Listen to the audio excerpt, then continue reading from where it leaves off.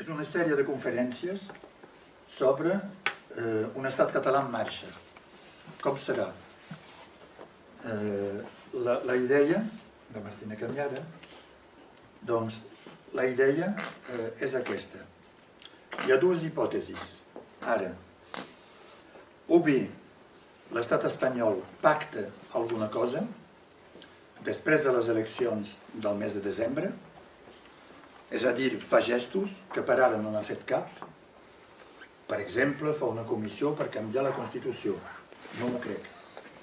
O bé negocia amb Catalunya un finançament o simplement negocia el que estava previst en l'Estatut votat el 2006 i anul·lat el 2010 pel Tribunal Constitucional. És a dir, hi ha un, i resol una part del finançament, que com veureu és absolutament aberrant. És un cas únic a Europa d'una regió que paga tant. Eh, I per tant fa algun gest i això pot començar un sistema de negociacions. O bé l'estat espanyol no negocia sobre aquests punts, és a dir, una adaptació de la Constitució als aspectes financers i retrobar com a mínim eh, el que hi havia a l'Estatut anul·lat, i en aquest moment hi ha un procés ineluctable cap a la independència, que no pot parar. Mira, és, és un xoc de trens sobre la mateixa via. I eh, en aquesta hipòtesi, com podria ser un estat català?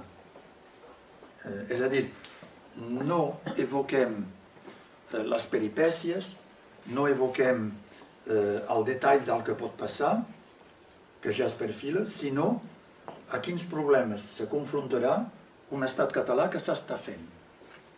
Eh? Aquest eh, és el tema. Cal saber que eh, hi ha molta gent que ho està preparant. El que veiem és el que diu la televisió, el que diu la premsa, paper o internet, eh, i tenim eh, l'espuma que hi ha sobre les onades. Però hi ha onades de fons. El procés actual no és un procés dels partits polítics. Són ells qui juguen ara. I jo no vull, i tu també, i això sí, i això no, juguen. Però és un procés portat per la gent, portat per dos milions de persones que es manifesten i que hi són. És a dir, és la societat que s'ha mogut. Haurem d'explicar per què avui. Eh? La, és la societat que es mou. I una societat no es pot parar. Que hi hagi 48, 50, 52, 55%, no importa. Quan una meitat de societat es mou, això no hi ha ningú qui ho para. I o concessions o bé continua. Eh? És el que deia abans.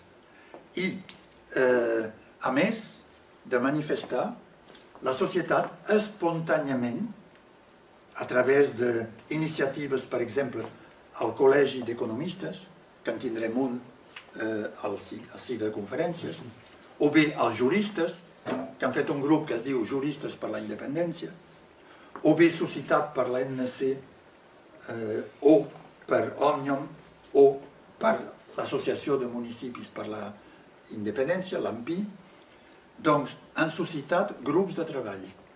I fa dos anys que s'estan treballant tots els aspectes d'un estat, amb cada vegada grups d'especialistes, però de bons especialistes. Catalunya té excel·lents especialistes, com els té Holanda o Suècia, en tots els dominis. És comparable i hi són. Universitaris, especialistes eh, professionals, que estan preparant tot. Com podria ser l'ensenyament? com es pagaran les pensions, eh, quins problemes financers hi haurà, com caldrà eh, adaptar l'economia, com es modificarà el port de Barcelona i el seu comerç, com podria ser una Constitució, amb tres models diferents de Constitució, segons que és breu, una mica més complicada, o, o això. És a dir que, més un llibre blanc. Aquests grups són o espontanis o suscitats per la Generalitat perquè la Generalitat, ara per ara, no ho pot fer obertament. Si ho fa obertament, eh, el govern espanyol pot suprimir la Generalitat o bloquejar com fa. I per tant, es fa eh, amb vistiplau de la Generalitat, però a part. Són tres d'aquestes persones que tindreu aquí. I els tres són gent que encapçalen un d'aquests grups de treball. Vol dir que tindreu de primera mà el tema de l'educació, el tema de l'economia, el tema de la Constitució. Una, Elisenda Perusia, eh, ens havia de fer l'economia, que també és una de, la, de, de les principals, però no pot perquè serà en aquest moment als Estats Units a un cicle de conferències. I altres dates no pot, però un dia o l'altre, l'any vinent, la farem venir. I per tant, tindreu la primera fila per us explicar què s'està preparant i com es veuen les coses. Llavors, en aquest marc, el meu paper és de fer el punt sobre la situació ara, el punt sobre la situació política i social, i explicar com s'ha arribat en aquest punt de ruptura. És a dir, què passa avui és el mètode geogràfic, no és l'històric. Eh? Geogràfic és constatar què passa i després eh, veure per què ha passat, com d'on ve i, evidentment, quina perspectiva hi ha, eh? per, on pot anar. Vet aquí. Doncs el meu paper és, és, aquest. Us dic també que el PowerPoint eh, l'he confiat ja a, a la doctora Martina Canyada i eh, serà penjat a la, a, a la web de la Casa dels Països Catalans. Eh? I per tant, eh, preneu nota si voleu, però en tot cas el que és dins el, el PowerPoint ho tindreu tots i, i tant si sou estudiants com no. Eh? És un portal obert, eh? per, eh, tranquil. Jo no poso mai copyright. Si podia, posaria tota reproducció desitjada i encoratjada. No? I per tant, i per tant eh, tranquil·lament eh, podeu fer. Quina és la situació política i social actual i la seva evolució recent? Hi ha aquí dos elements que veurem en les diapositives que segueixen, que són il·lustracions, diguem, elements concrets, sinó que què passa després de les eleccions del 25 de setembre del 2015, com s'ha d'analitzar eh, el resultat de les eleccions, perquè el que s'ha fet tant a Espanya com a Catalunya és esbiaixat. Per exemple, s'ha dit a Espanya hi ha eh, 52% de la gent que no vol la independència, que és fals, que és fals, perquè eh, no fan part de la, dels partits, no han votat partits que deien que no, eh, només una part. I eh, es diu els diputats que han estat elegits, que són majoria ampla, 72, eh, majoria ampla, no poden proclamar res. Sí que poden, perquè s'ha fet el mateix al Kosovo i, i, a tot arreu d'Europa. Per tant, poden fer el que volen. Que en aquest moment millor llegir la premsa internacional, que ells han posat l'endemà mateix, els independentistes guanyen, eh, majoria per la independència, eh, resumint què fa el govern espanyol. Eh, és a dir, que la, lectura sovint no s'ha de fer a l'interior, perquè és esbiaixada, sinó, sinó a fora. I després, el procés recent.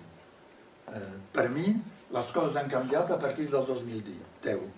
És a dir, la sentència del Tribunal Constitucional que anul·lava l'Estatut aprovat en 2006, que mai s'havia vist una cosa d'aquesta, us ho diré més endavant, i la manifestació Som una nació, nosaltres decidim. En aquest moment no es parlava d'independència. Es deia, volem decidir, volem decidir de l'Estatut, doncs en el marc eh, espanyol. I es va anar modificant, salto la, la, la manifestació de la Diada del 2011 i l'important és l'11 de setembre del 2012 on el tema va ser un nou estat d'Europa. En aquest moment, prudentment, no es deia quin tipus d'estat, que podia ser un estat independent o un estat federat dins Espanya, eh? estil Alemanya o Suïssa, eh? amb els cantons suïsses o els lenders alemanys. Però en tot cas, que Catalunya sigui un estat que decideixi ella, eh, sobre el que li interessa. I davant del de bloqueig i en aquell moment, oportunament, el president Artur Mas ha provocat eleccions. Perquè unes manifestacions poden ser, encara d'un milió i mig d'habitants, el que se'n diu una febrada, eh? un cop de calor. I després, a l'hora de, de veritat, com fa la gent. I per tant, eh, un polític no s'ha de eh, moure amb la gent al carrer. Els ha d'escoltar, cosa que no fa el govern espanyol. S'ha d'escoltar, que diuen, i s'ha de tractar el tema, o pel tractar o pel fer minvar. Però, en tot cas, alguna cosa s'ha de fer. I Artur Mas ha volgut comprovar. D'aquí ha sortit una majoria a favor d'una consulta. Doncs aquest Parlament, el que s'ha dissolt fa poc, tenia mandat de fer una consulta. La va fer. D'una manera o d'una altra, s'ha procurat de pactar, però s'ha acabat fent. I a partir d'aquí eh, va ser la via catalana i el, el 2014, l'11 de setembre. Davant d'aquesta constant de manifestació, que anava creixent el nombre, perquè es diu cada vegada hi ha un milió i mig, no, no n'hi ha 800.000, no n'hi ha 700.000, va, deixem. Quan es pren la mateixa font, la mateixa font, i que es mira els xifres, va creixent. I en tot cas, la gent no es desmobilitza. I per tant, vol dir que la consulta s'havia de fer. I a partir d'aquí, eh, com que hi ha sempre bloqueig, hi ha les eleccions actuals. I les eleccions actuals, doncs quines són? És això que posaré de manera il·lustrada. Aquí és una mica el resum de, dels punts. Llavors, això dit, aquí teniu els resultats del Parlament de Catalunya. Aleshores, s'ha dit, del costat de Junts pel Sí i de la CUP, candidatures d'unitat popular, Junts pel Sí és un grup de quatre partits, no és un partit polític, sinó quatre. Hi ha Convergència, hi ha Esquerra Republicana, hi ha un nou partit centrista, que és una excisió d'Unió, i que aquests s'ha vist a les eleccions que eren majoritaris, perquè el que quedava d'Unió va tenir zero diputats, quan en tenia sis, doncs les urnes han parlat, i una part dels socialistes, aquesta minoritària, que eh, s'han posat també per la independència, que és la part catalano-catalanista dels socialistes de Catalunya. I aquí la majoria s'ha quedat amb eh, el Partit Socialista i es veu perquè tenen 16 diputats quan en tenien 20, n'han perdut 4. Doncs vol dir que els que es van excindir han fet baixar de 4. Eh? Resumint, doncs és un grup de quatre partits, que el cap de llista és un ex-comunista, és a dir, d'iniciativa vers, eh, que va ser diputat d'iniciativa, doncs eh, és el nom que va agafar el Partit Comunista quan va abandonar els seus dogmes ja fa temps a Catalunya, com el Partit Comunista d'Itàlia també, i com no ho ha fet el Partit Comunista francès, doncs no cal comparar, són comunistes diferents. Eh, aquests són eh, catalanistes i, i, i, i una mica diferent a nivell de, de, de, de programa.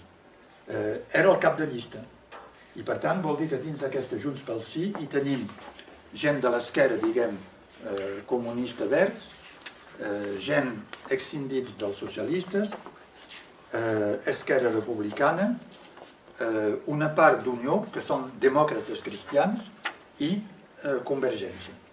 Per tant, hi ha quatre partits constituïts més personalitats. Eh, vet aquí. La CUP són candidatures d'unitat popular. No hi ha comparació a França amb eh, aquest tipus de partit. Però és un partit eh, d'extrema esquerra, però no d'extrema esquerra eh, amb una militància a la, Mélenchon, eh, sinó d'extrema esquerra de programa, però eh, que, que no tenen ni la violència d'expressió ni, ni, la, ni els tics que té l'extrema esquerra eh, a l'estat francès. I per tant, ideològicament són els més a l'esquerra de tots, diguem, però eh, amb un component eh, a la manera de, del que es fa a Catalunya, que és una manera civilitzada de fer política, eh, diguem, eh, europea, per, per dir-ho per dir així. Que ells són catalanistes i independentistes dels països catalans. És a dir, que per ells Catalunya és una etapa. Per això fan la seva reunió diumenge a Perpinyà. Eh? Per, per, hi podeu anar per, eh, i voteu per l'Unió, eh? No, no, no per eh, qualsevol boricada. Llavors, eh, aquests partits, aquests, aquests grups, van eh, posar com a punt primer de programa eh, la independència de Catalunya. I per tant, els seus votants sabien que si votaven per aquests, eh, era votar per gent que proclamaria la independència. Primer punt.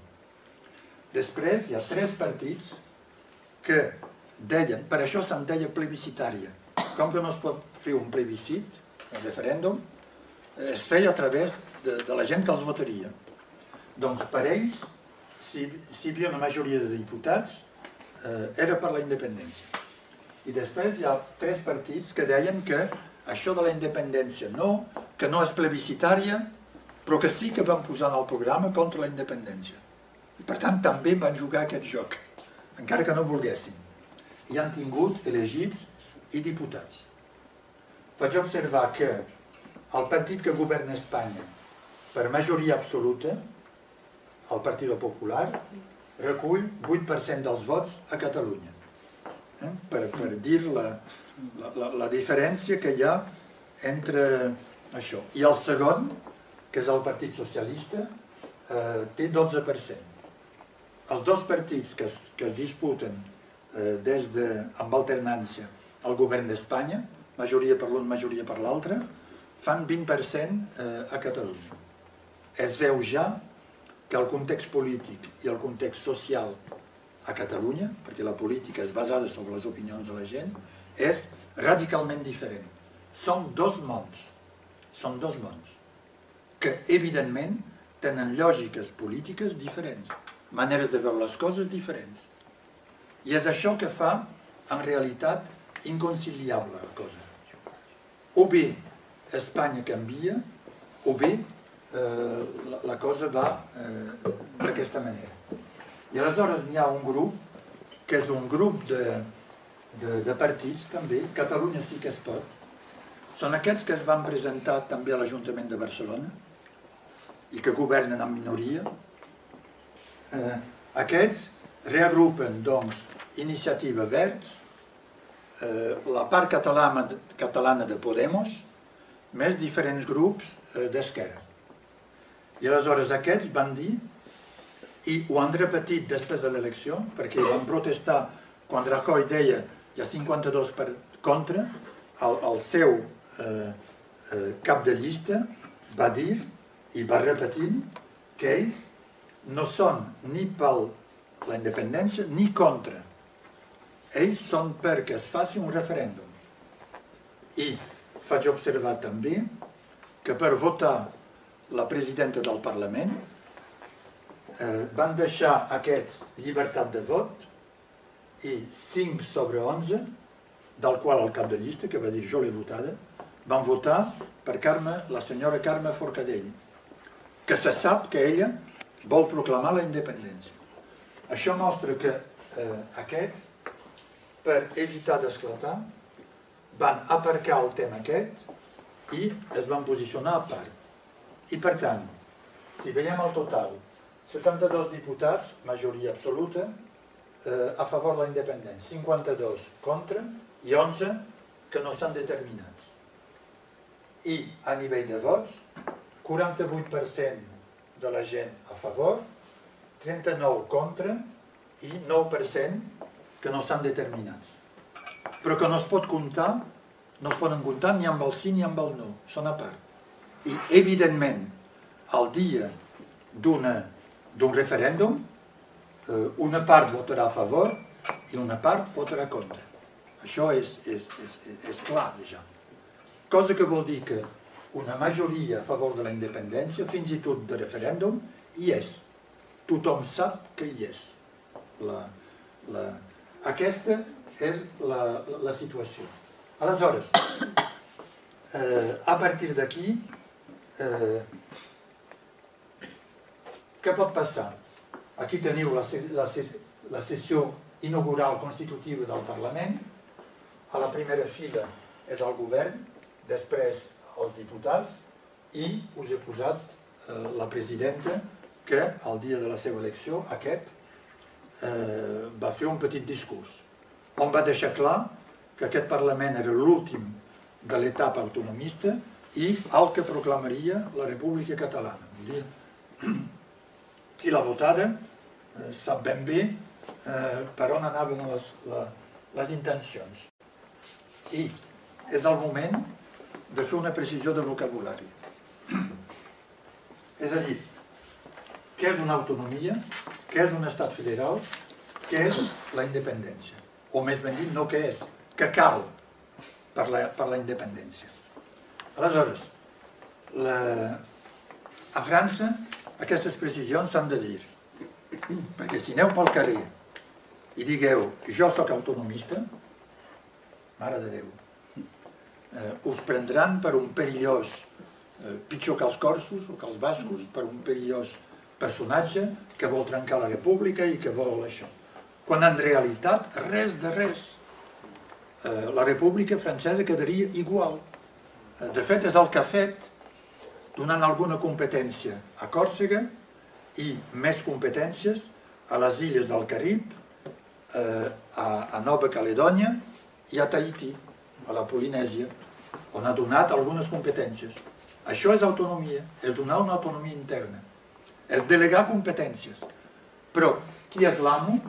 És a dir, l'Estat queda unitari. Qui té la sobirania és el conjunt de l'Estat. I l'Estat decideix el que dona a la regió que vol l'autonomia. Poc més o menys. Eh, ja està. I eh, dins la proposta l'Estat dona el que li convé. S'ha vist amb la reforma de l'Estatut de Catalunya que va ser retallat per les Corts espanyoles i després anul·lat en gran part pel Tribunal Constitucional. Però abans ja havia estat retallat i la gent l'havia aprovat malgrat tot. Ve d'aquí. Això és una autonomia. I per tant jo puc dir que a l'estat francès sóc autonomista, perquè l'estat centralitzat tal com és no és eficient, no és bo. Caldria que les regions tinguin més competències, però competències pròpies, no tutelades per l'Estat, és a dir, la capacitat de decidir. Eh? Per exemple, eh, les regions diuen que tenen competències sobre els liceus. Va, vol dir que tenen dret de pagar el liceu i en fan les reparacions, però no tenen dret de dir si el liceu serà tècnic, públic, quins estudis s'hi faran i eh, com és el personal. I això res, és sempre l'Estat. I per tant això no és una competència, és una delegació d'aplicació de competències que guarda l'Estat. Una competència traspassada sobre el liceu vol dir que cada regió podia decidir quins liceu, a on i què hi fan. I, per exemple, no hi ha cap liceu a Catalunya Nord que faci una formació sobre el turisme, quan el turisme és la principal activitat. Però a Prada s'hi fan encara de tourneur-friseur. Eh? Mira, ja em direu quin lloc de treball utilitzaran aquí. I no n'hi ha cap tampoc que faci pels la, la, els mestiers les feines de la salut quan aquí hi ha moltes, moltes cases de convalescència, d'infant, etc. Per aquí. Suposo que una regió amb competències ho faria, tant departament com altre. Doncs, l'autonomia la, és una delegació de competències, això sí, plenes. I eh, si l'Estat no està d'acord, hi ha el Tribunal Constitucional eh, que decideix qui, eh, qui té raó. Això és el paper del Tribunal Constitucional no de condemnar i de sancionar actes polítics. Eh? Vull dir eh, que com, com s'està convertint ara. Dins un estat federal, és l'invers. La sobirania la té cada estat federat, cada un. Ell és sobirà. Vol dir que ell té totes les competències. Quan es federen, les té totes. I aquests estats federats decideixen què donen a l'estat federal, a la, a la, al govern central. Què li donen? Li donen l'educació o no, li donen això, li donen tal altra cosa. I si l'estat federal vol més competències, les ha de demanar cada estat. I si un sol estat s'hi oposa, no hi ha competència suplementària. Perquè la, la, la, la sobirania la tenen ells. Que és el que voldria Catalunya a l'inici. Eh? Que hi hagi un estat federal, que ells tinguin sobirans, que ells tinguin la sobirania, que no vol dir la independència, vol dir decidir. I això, el que és curiós és que els socialistes, per exemple, o els centristes, diuen que volen una reforma de la Constitució cap al federalisme. Vol dir que volen trencar l'Estat. Volen trencar l'Estat, ells. I per si el volen trencar, perquè no són a favor de l'autodeterminació. Tenen una posició jurídicament estúpida. Ho puc repetir, estúpida. I com que no són tontos, vol dir, i que tenen jurista, vol dir que estan marejant la perdiu, com es diu. Estan intoxicant la gent conscientment. Eh? Conscientment. Perquè el govern federal té la part que complir els estats. Eh? I, I la sobirania no la té més. No tindria més la sobirania a Espanya, sinó Andalusia, Catalunya, etc etc i decidirien. De governs federals n'hi ha que han passat la major part de les competències a l'estat central, exemple Mèxic, i d'altres que han guardat moltes competències als estats federats a la base, exemple Suïssa, Estats Units o eh, Alemanya.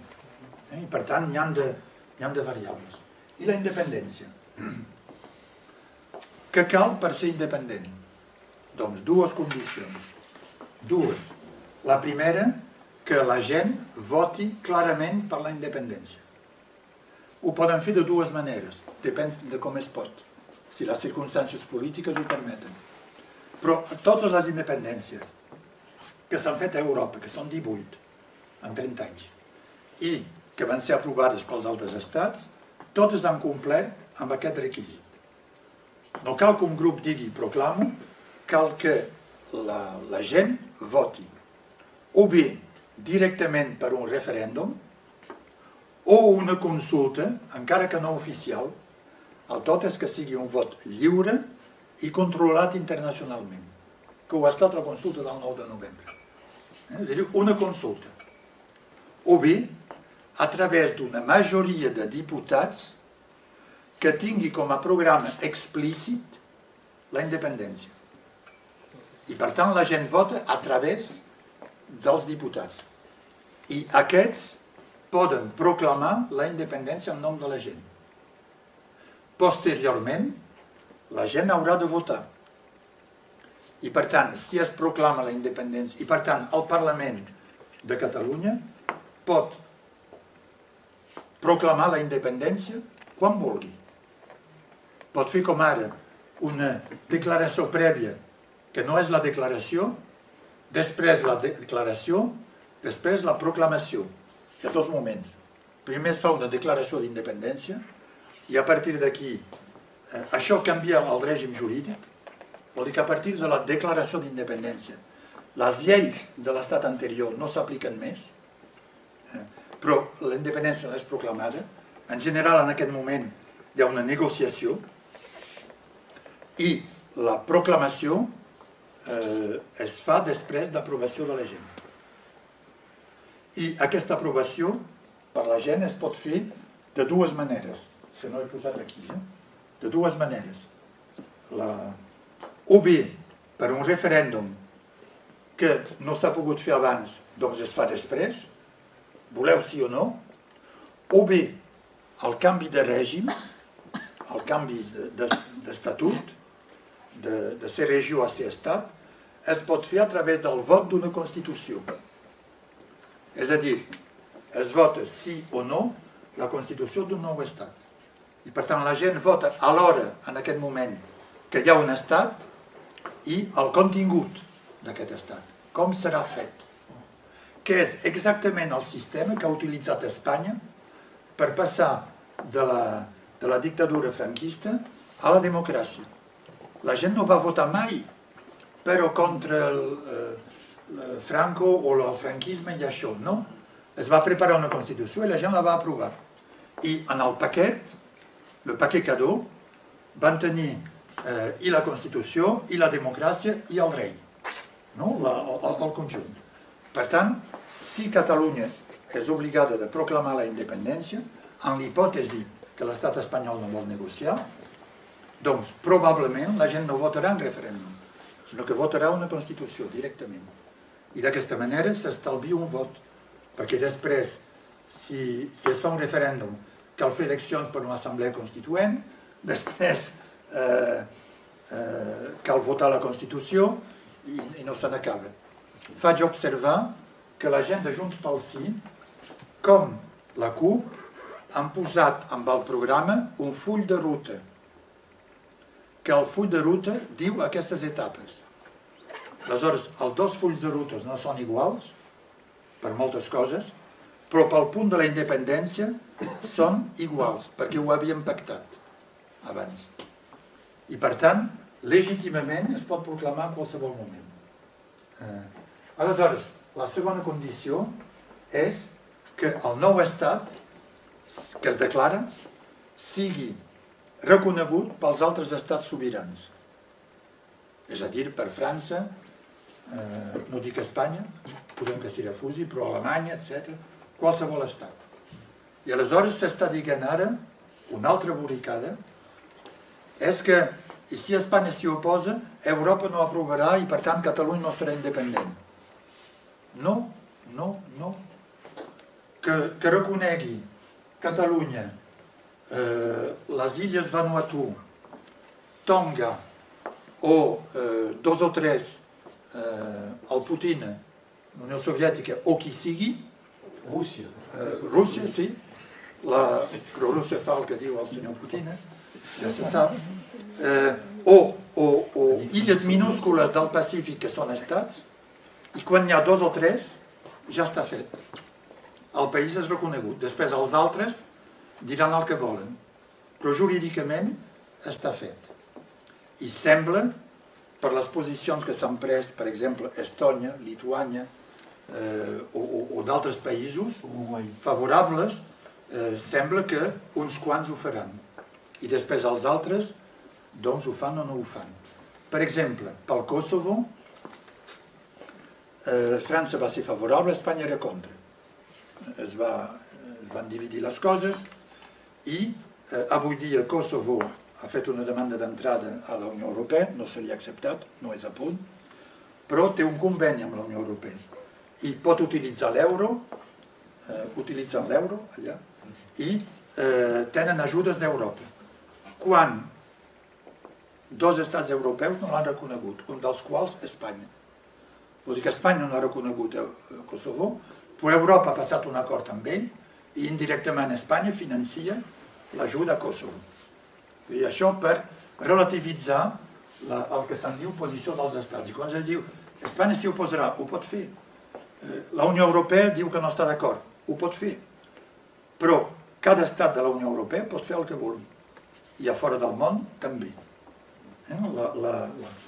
I noto que cap de, de les condicions que he dit fa referències a les normes de l'estat anterior, és a dir, l'Espanya actual, no l'Espanya futura, sinó l'Espanya suposant que hi ha independència, sinó l'Espanya actual.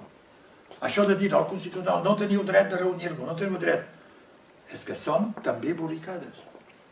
Perquè eh, no hi ha cap independència que s'hagi fet eh, en funció de les normes anteriors. No hi ha cap Constitució al món que diu, article 23, 143 o 250, si voleu la independència, digueu sisplau i, i, i feu la petició. Això no, no, no es diu mai. Eh, proclamar una independència no és una cosa il·legal. No és il·legal. Ni és legal en funció de l'estat anterior, que ell es defensa, sinó que és alegal. És a fora de la legalitat de l'estat anterior és, són condicions jurídiques internacionals que cal complir per tenir el reconeixement dels altres. a quin estem. I per tant, eh, la, la, el Parlament elegit és absolutament, absolutament legitimat. Això és per insistir sobre la gent. Perquè si mireu els mitjans de comunicació mundials, que tornar la, eh, apareixen títols a tot arreu, però 150 o 200 medias de tot el món per una cosa a Catalunya. VilaWeb, que us recomano de seguir, fa després de cada elecció o cada esdeveniment, o diada, la ressenya del que es diu a tota la premsa del món. Per tant, piteu i, i aneu a veure els títols. Doncs hi ha un ressò arreu del món. I el que es diuen dins els articles, a més de dir clarament eh, què passa, això és el Wall Street Journal, anava a dir una cosa grollera, però a veure, xapó, eh, que ell eh, parla d'independència i tan tranquil·lament com, com això. Són aquests diaris que fan eh, la pluja i el bon temps sobre l'economia, sobre els bancs, sobre, sobre tot, eh? Vull dir, i per tant tranquil·lament en parla. I què diuen els articles? Doncs el caràcter festiu i pacífic de les manifestacions. Per exemple, darrere de l'última, fan dos mesos, ni fa dos mesos, eh, he llegit que la gent sorpresa que hi havia un milió i mig de persones, se'n van i no hi ha ni un paper a terra. Eh, I no hi ha cap policia per vigilar. Això és impensable a París o a Perpinyà, eh? una manifestació i tot peta. Com també l'impuls de la societat. El fet que no és un partit independentista com a Escòcia, sinó que són diversos partits, ho he dit. O bé la capacitat d'autoorganització. S'ha vist amb la via catalana. La gent era repartida trams per trams a 500 metres, amb 40.000 voluntaris. La consulta no l'ha pogut fer la Generalitat, la del 9 de novembre de l'any passat. Hi ha hagut voluntaris que ho han fet. I per tant aquesta capacitat i disciplina d'autocoordinació que trobem amb el que us explicava ara. Això dit, eh, ho sabeu tot, algunes imatges i l'evolució dels temes. Això és la manifestació del 10 de juliol. Què havia passat? Eh, L'Estatut d'Autonomia, rebaixat, ja per les Corts Espanyoles, va ser eh, desmantellat per la, el Tribunal Constitucional. És una cosa absolutament inèdita, això, en una democràcia. Per què? Hi havia la Constitució primera, la del 78, i després s'han fet estatuts d'autonomies, aplicats al de Catalunya. I diu la Constitució que un estatut d'autonomia esdevé part de la Constitució. Doncs fa part del cos constitucional. I el Tribunal Constitucional, per rebaixar l'Estatut, la reforma que se'n va fer, que la va fer també Andalusia i una desena d'autonomies, va jutjar només sobre la Constitució i no sobre el primer Estatut. I va treure coses que eren dins el primer Estatut, que eren dins el cos constitucional. Aquesta absència de norma de dret d'un estat, això no passa a una democràcia habitual. És pròpia d'estats autoritaris i de vegades dictatorials. És a dir que eh, va ser una cosa inaudita. I el resultat, la gent, som una nació, nosaltres decidim.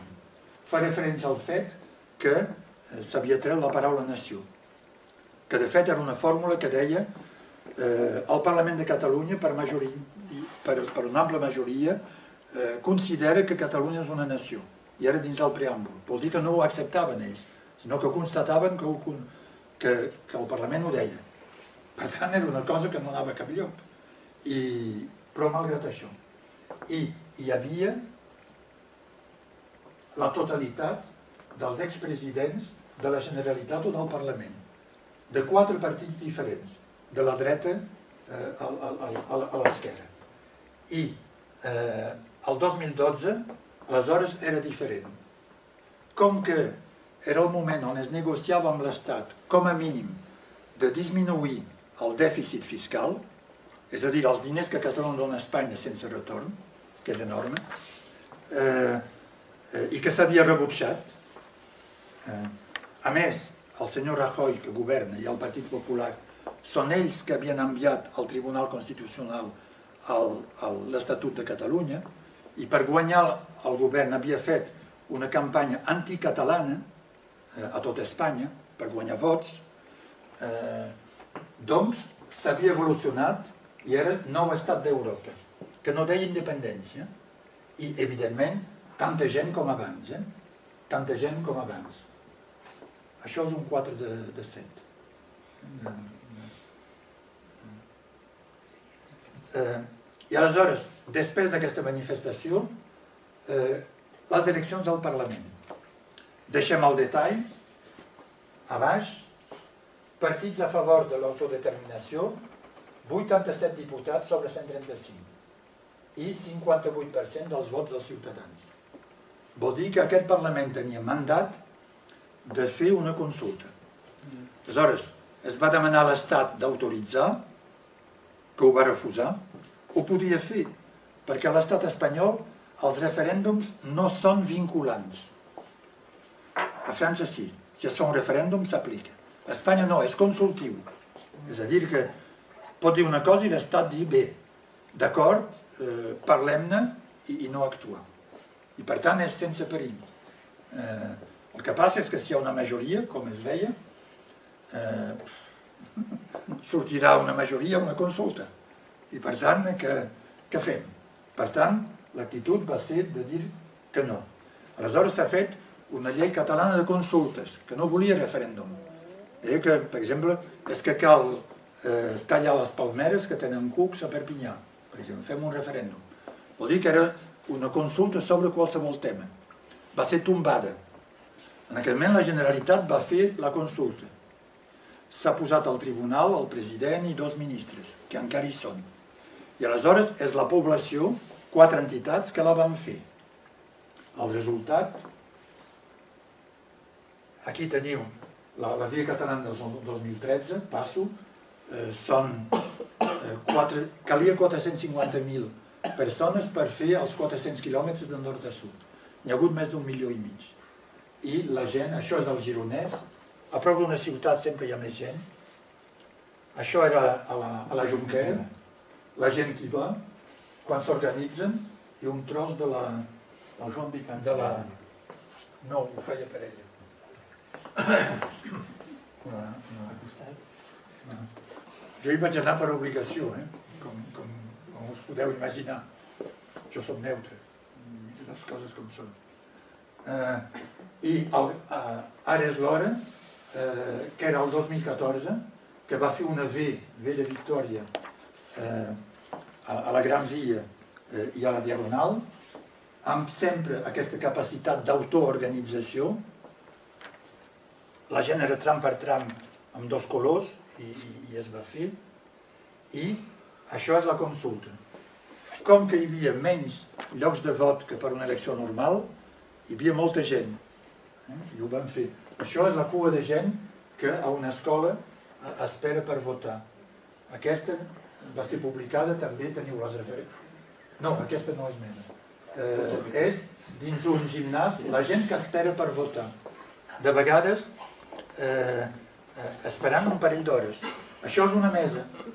Ciutadans normals eh, que, que, que hi van. El resultat, poca broma. Poca broma. La qüestió era doble. Vol que Catalunya esdevingui un estat, sense referència al tipus d'estat, federal o no. I en cas afirmatiu vol que aquest estat sigui independent. Resposta. Sí, sí, 1.800. Aleshores s'ha dit és que només la meitat han votat. Va. A una consulta el que compta és la proporció de gent que és positiva. Sempre. Mai he vist un referèndum amb matisos. Quants n'hi ha que són pel sí? Punt. Ja està. I per tant, els que són pel sí, sí que han votat. Pot ser que dels altres no, però en tot cas aquests és segur. Doncs la quantitat és interpretable. A més, una part no va poder votar. Doncs 2.300.000. 1.860.000. Guardeu aquest. Guardeu aquest xifre. El, elements de comparació. entre el sí, 1.800.000, i el vot del 2012. Si fem la suma a favor de l'autodeterminació, arribem a 2.900.000. 2.093.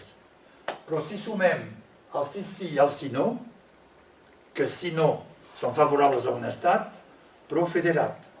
Estem d'acord? Trobem la mateixa quantitat.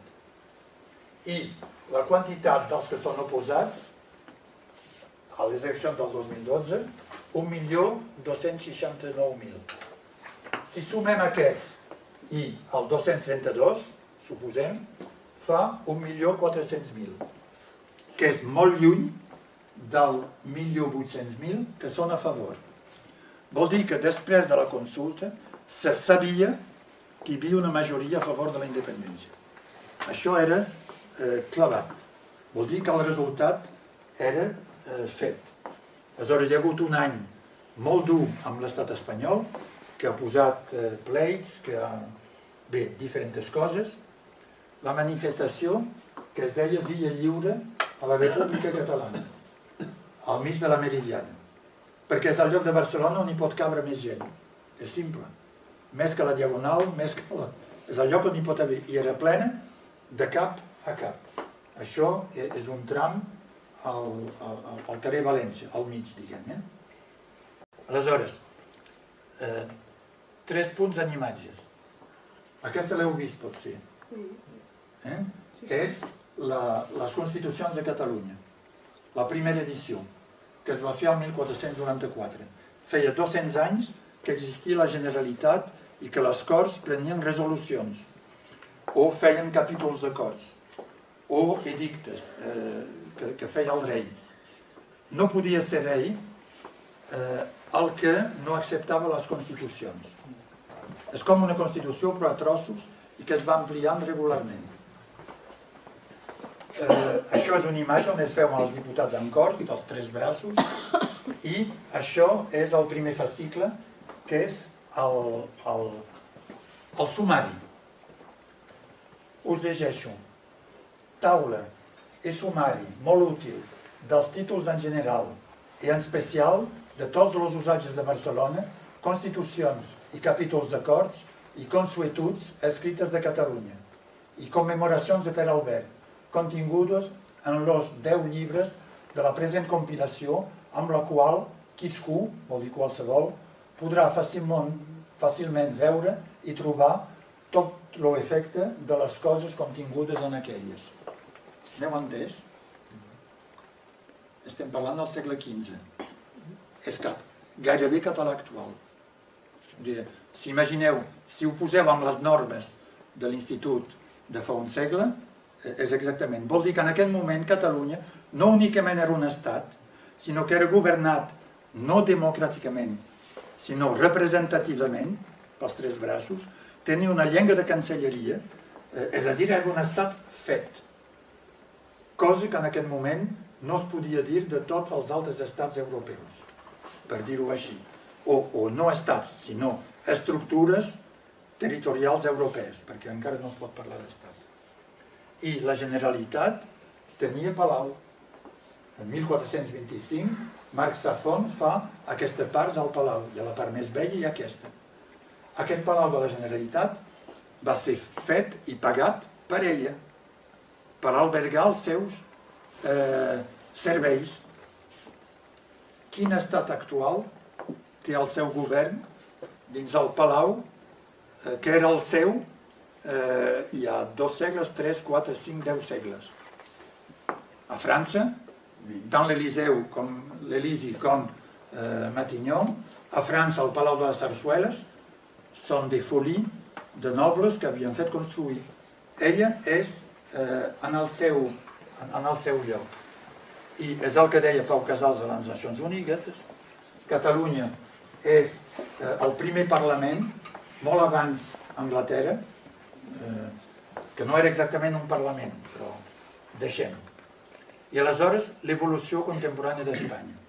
Això l'he posat en el, en el PowerPoint, però no el tracto, ho salto. Eh? He d'evocar la guerra de successió, les conseqüències, el tractat eh, que posa el, el, el net de Lluís XIV eh, com a rei d'Espanya, Felip V, l'anexo a Castella, la revolució industrial a Catalunya, la renaixença, algú us en parla segurament, eh, i per arribar actualment. Només vull insistir sobre dos punts. Un, s'ha dit sovint, el decret de nova planta anul·la, és veritat, eh, les lleis eh, i estructures catalanes. No, no únicament això, sí que ho fa, però el que diu el decret de nova planta és que Catalunya és annexada a Castella, no a Espanya. És una annexió a Castella. És a dir, no és únicament la supressió, sinó que és altra cosa. Diu la frase que ho diu, diu, he juzgado por conveniente, si por esto como por mi deseo de reducir todos mis reinos a la uniformidad de unas mismas leyes, usos, costumbres y tribunales, gobernándose igualmente por las leyes de Castella. És un, es diu, ah, tot això fora, i ara Castella governa, amb les seues lleis i els meus governadors. Punt. Eh? És a dir, és una annexió i una annexió per la violència, amb, amb res i amb repressions, com, com se sap. Per això a Catalunya hi ha tan pocs Felips, no? Perquè hi ha Felip V, Felip V, ho sabeu, no? Molt poca gent es diu Felip, perquè durant molt de temps, com que era el nom dels reis, eh, era això. I la gent popular eh, és exquisita, la gent popular, eh? eh perquè té venjances, això de, del dia a dia a l'època on hi havia latrines, sabeu, per anar, per anar a fer els seus menesters, per a defecar, diguem, eh? se'n deia anar a Can Feliu. Al segle XVIII, XIX i fins ara, anar a Can Feliu. Vol dir que cada vegada, cada vegada que van, de ventre, es caguen sobre el rei. Això és l'aspecte la, humorístic eh, i escatològic de, de, de la saviesa popular. Eh, aleshores, faig notar que la història espanyola del segle XIX i XX és una història d'una violència increïble. Eh, hi ha pocs anys de democràcia. Durant el segle XIX parlen del bienni, dos anys, del bienni democràtic al mig. Després hi ha hagut la república i des de fa 30 anys la situació actual. Vol dir que Catalunya, al mateix temps que Alemanya, França, eh, Alemanya des del segle passat, eh, Anglaterra, no parlem, de França, vivien i experimentaven una democràcia, Espanya no. Eh, la, la, la democràcia és recent, de 30 anys. I per tant, les actituds eh, autoritàries eh, impregnen la mentalitat de la gent i dels polítics. Perquè durant segles, i durant l'últim segle, és així que es va actuar. Eh, és a dir, ordeno i mando, eh, això és la, la, la, manera, la manera de fer. I es veu actualment tant pel Partit Popular, que té la gent hereua del franquisme, a Espanya no hi ha cap partit d'extrema dreta, cap. Eh, hi ha un petit que ni és parlamentari, pregunta, 40 anys de franquisme, on han passat els franquistes? Us ho deixo com a, com a, com a enigma eh, per resoldre. Eh, però fins i tot els socialistes ara diuen que és impensable, cal actuar, cal... És a dir, a veure, que feu com els franquistes, que, que voleu fer una, eh, un moviment nacional. Vull dir, hi ha una cosa que democràticament planteja problemes eh, a l'estat espanyol. La Constitució i l'Estatut del qual es parla van ser negociats sota la pressió del poder de l'exèrcit franquista, mentre es negociava la Constitució, eh, el primer ministre sortia a certs moments, m'ho han dit persones que hi han participat la negociació, sortia de vegades per una hora o dues hores i se va saber que anava en el mateix palau a un altre lloc on hi havia els generals i deien n'estem aquí, ho accepteu o no? I tornava. Eh, és a dir, la famosa Constitució santa eh, va ser eh, feta sota la pressió eh, i és ambigua. A més, el Partit Popular, que es deu Aliança Popular, va votar contra. Eh? Són els altres que la van fer aprovar. I l'anticatalanisme recentment és un instrument per guanyar el poder.